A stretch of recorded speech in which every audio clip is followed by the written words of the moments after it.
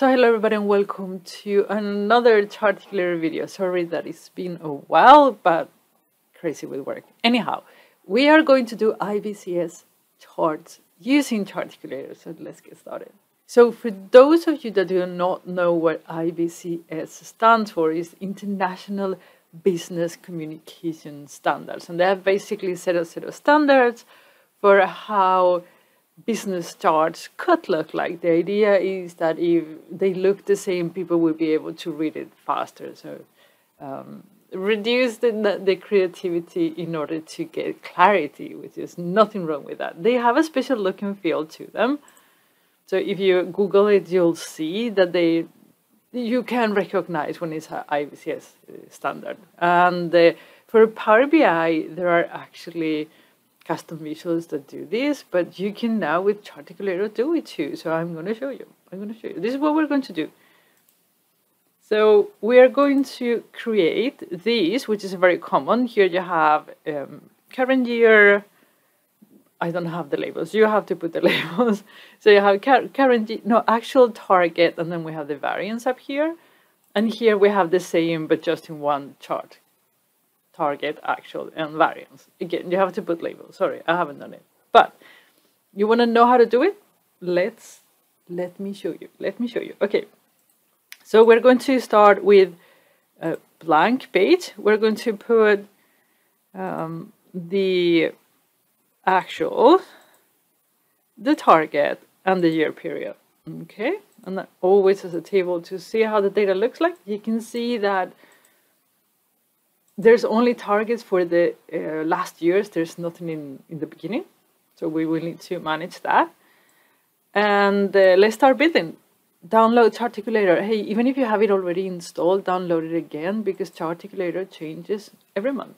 So you need to re-download it for now until they integrate it into Power BI.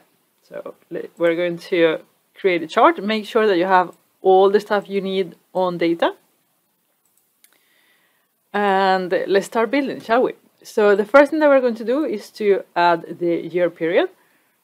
And then you might think that to create a bar, you use a rectangle, but not quite when you want to nest things. When you want to nest things, you're using this thing that is called a data axis.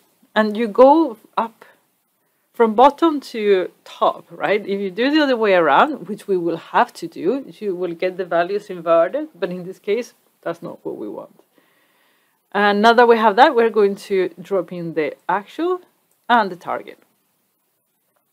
And uh, now it is time for us to set the rectangles that we wanted. Okay, so um, we are going to let's create first the one that has um, one step. Let's start with that one. So we have for the actual a rectangle. So you go to actuals and then you draw a rectangle.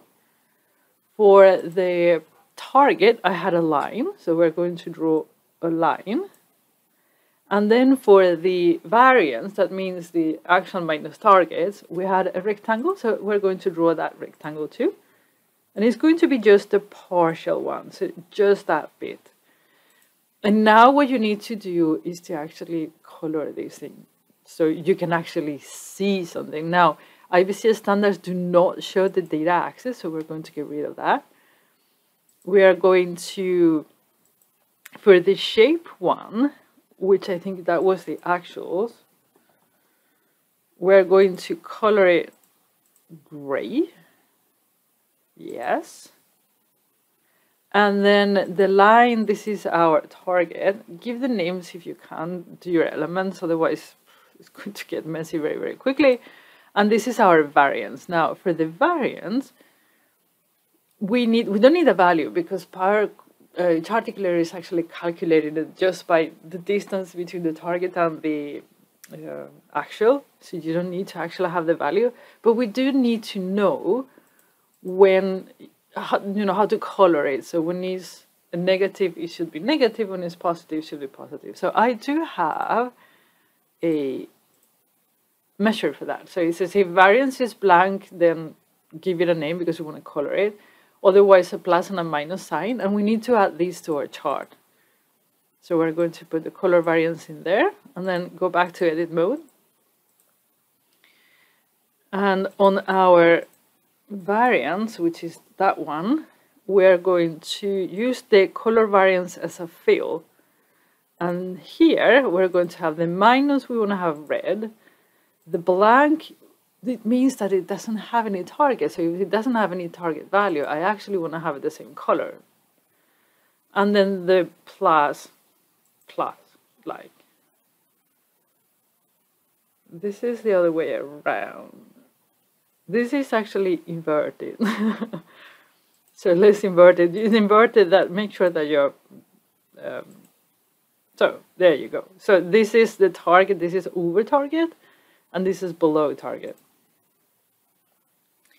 And that's all. And then you can customize whatever you want, right? You can put these, uh, you can put grid lines, you can put anything you want. So now let's create the second chart, okay? So this is what we're going to do. I'm going to put in all the fields that I need first, and then I'll tell you, it's just easier with Charticulator to work. And then I will tell you what those are. So we're going to put actuals, color, color variance, origin, and target into the chart, and year period, obviously. And then click on Charticulator. And uh, we're going to do edit, as always, create chart. So let's see. Um, the first thing that we're going to do is to put everything as always on the data. There you go. Uh, put the year period in, uh, in the x-axis and then you might think that you need to put a bar like a mark bar rectangular here but when you're mixing the number of, or, or, when you're doing a bit more complex uh, representation with bar charts, you need to use the data axis. So you're going to go from the bottom to the top, and then you're going to put target and actuals. And we are going to now use the marks, okay? So you're going to well, let me put first uh, a guide because this is going to require extra guides. So there you have it. So now we're going to put the mark. Maybe I should make this a little bit bigger so you see something. Hopefully, come on, Charticulator, please, behave. Okay. So there you go. Um, so we are going to use the mark. We're going to go so the back is going to be the target, the front is going to be the actuals. So the back is going to go from, just so you, you see, from there to there, like that. And then the next one is going to go, which is the actuals from there. You're going to cover everything, but then we're going to change it because we just don't want it there. We want it exactly there, okay?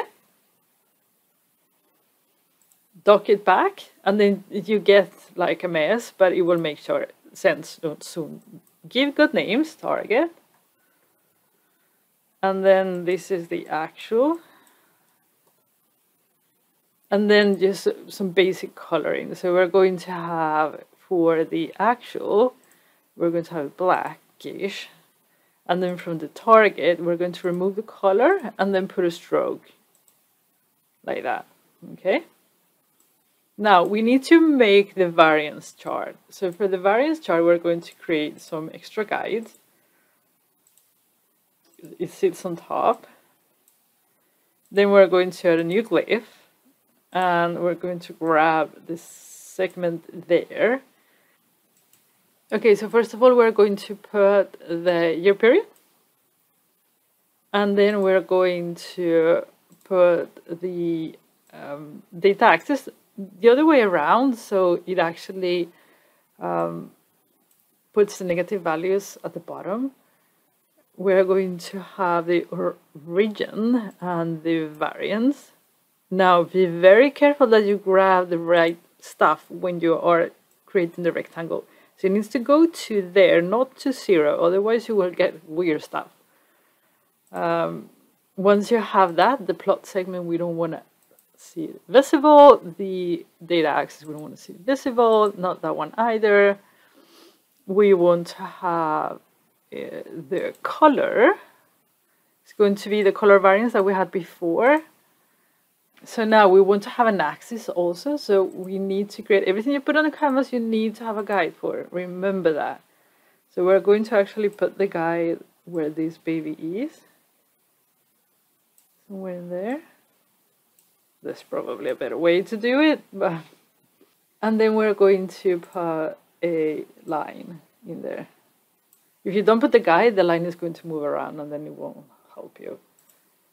Save it go back and there we have our beautiful chart. So obviously you can um, put any type of label that you want, you just add the label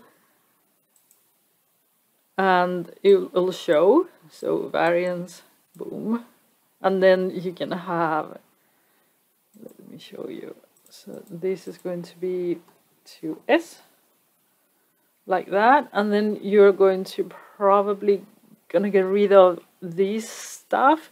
So you can actually put the variance in visibility